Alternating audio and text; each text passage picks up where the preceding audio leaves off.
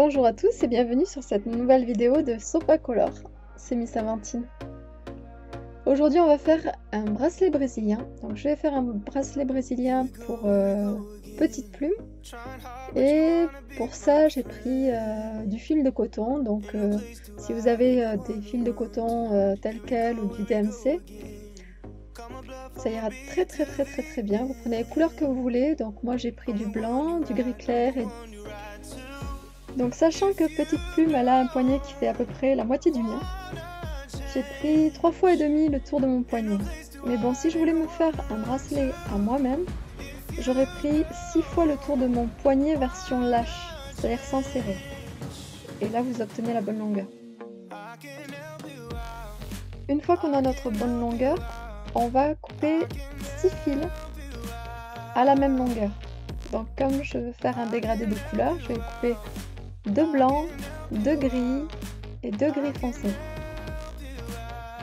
Maintenant que j'ai mes six fils, il faut que je les positionne de manière cohérente. C'est-à-dire, comme je veux pas blanc, gris clair, gris foncé, blanc, gris clair, gris foncé, moi je veux un dégradé.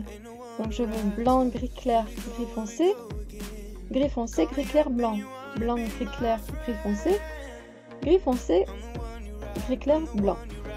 Donc il faut que je les positionne de manière cohérente euh, pour bien commencer le bracelet. Donc je vais en mettre un blanc, un gris clair, un gris foncé, un gris foncé, un gris clair, un blanc.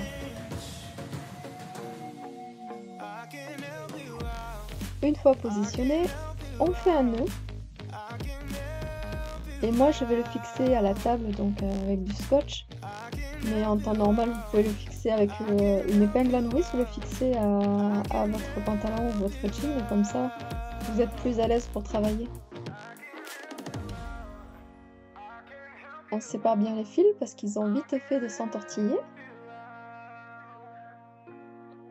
Donc, comme à chaque fois qu'on fait un bracelet brésilien, il va y avoir un fil guideur et un fil tendu pour faire le nœud. Je m'entends, le fil guideur, c'est celui qui va donner sa couleur à toute la ligne. Donc si votre guideur est le fil blanc, comme c'est le cas sur, euh, cette ligne, du, sur la première ligne du bracelet, toute la ligne sera blanche. Et l'autre fil autour duquel on va faire le nœud s'appelle le tendu. Enfin, je l'ai appelé le tendu tout simplement parce que si vous le tendez pas, si vous le gardez lâche, il se peut qu'en fait c'est sa couleur qui prenne le dessus sur, euh, sur le guideur. Donc surtout gardez-le tendu. Allez, on le refait en plus lentement. Donc on va partir de la gauche, on va prendre le guideur et on va former un 4 au-dessus du tendu. On va former une sorte de boucle. Une fois qu'on a formé la boucle, on fait revenir le fil à l'intérieur de, l'espace qu'on a créé dans le 4. Et on tire. Donc il faut faire deux nœuds à chaque fois.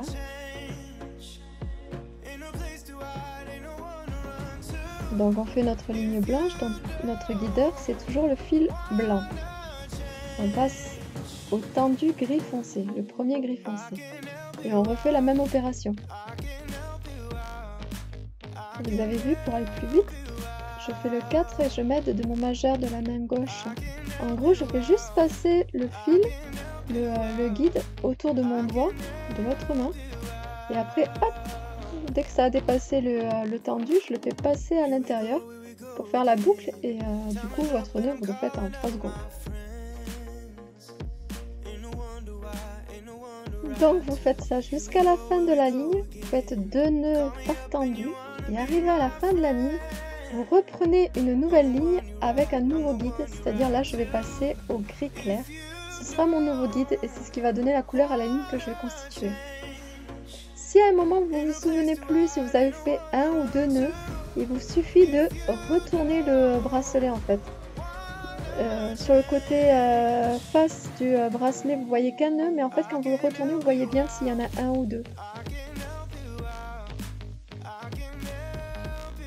Bah allez, c'est parti. Hein. Il va falloir continuer jusqu'au bout. Donc pour ce bracelet là, il faut compter à peu près je dirais trois quarts d'heure. Pour faire des bracelets plus conséquents, pour des poignets plus importants, on peut monter jusqu'à une heure et demie à peu près. Ça dépend, ça dépend si, si on oublie assez rapidement ou pas. On vous souhaite de bien vous amuser. Et euh, n'hésitez pas à nous envoyer vos créations sur euh, Instagram, donc hashtag sopacolor, S-O-P-A-C-O-L-O-R. on se fera un plaisir de les mettre sur la prochaine vidéo. Et euh, ça nous fera extrêmement plaisir à nous de voir ce que vous avez fait, de, de voir que vous suivez les vidéos. N'hésitez pas à mettre des commentaires et à partager la vidéo, liker si vous avez aimé et abonnez-vous. En attendant, je vais quand même vous montrer euh, le résultat final sur Petite Plume, qui a été très très heureuse d'avoir le bracelet. Et euh, ça fait toujours plaisir un bracelet, un bracelet euh, brésilien. Donc je vous mets le poignet